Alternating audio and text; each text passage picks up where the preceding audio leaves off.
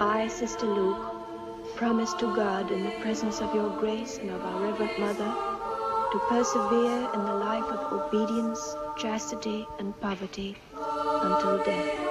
Amen. I declare you from today the bride of Jesus Christ, Son of Almighty God, Pater et Filius et Spiritus Sanctus. Amen.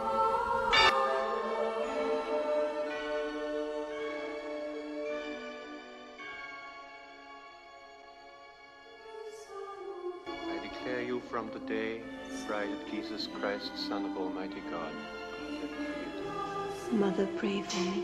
My daughter, may God give you peace.